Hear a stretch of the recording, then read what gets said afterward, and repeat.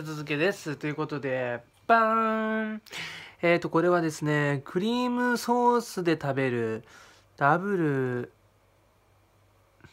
ちょっと待ってよ。ん？多分、ごめんなさい、ダブル焙煎コーヒーゼリーです。はい。これも190、ごめんなさい、これ180円でした。セブンカフェアイスの豆を使用って書いてますよ。へえなのでちょっと早速いただいてみようかなと思いますね。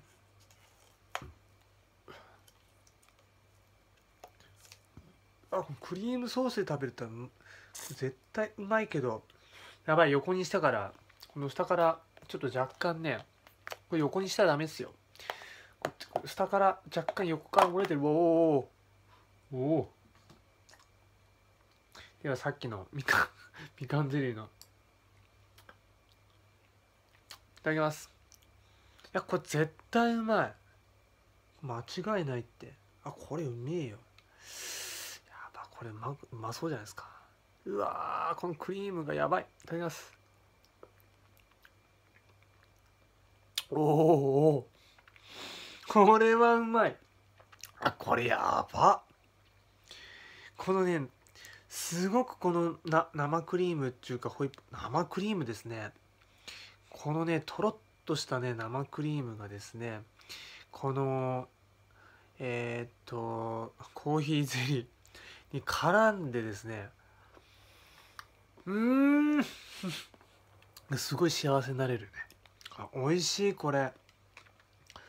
あのよくあのあのコーヒーゼリーとかってあのね生クリーム入ったやつとか売ってますけどそれコスネそれより全めっちゃうまい。もうクリームが違う。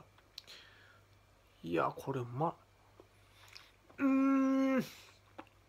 でこのゼリーもなんかこうなんかね全然違います。安いあのコーヒーゼリーのゼリー感覚が全然違います。これね。うまい。か固めにできています。なんか普通のやつって結構結構ドロドロ口の中の肌触りドロドロっていう感じですけどこれそれがないです。すごい硬いです。うん。あこれ。あこれはおすすめだわ。あ美味しい。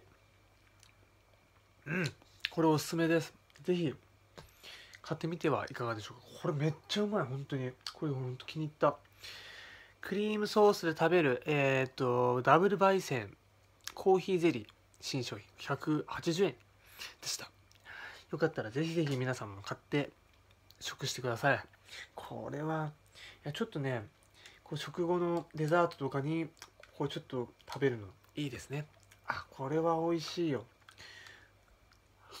うん。美味しい。本日もご視聴ありがとうございました。えーとまたね来週もえー、そうですね1日1本程度ずつぐらい動画を上げれたらなとちょっと思います。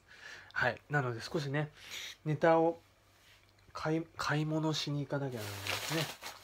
はい。ネタを買い物してまた動画アップしますので、よかったらぜひ見に来てください。ということで、コーミファンゆうきでした。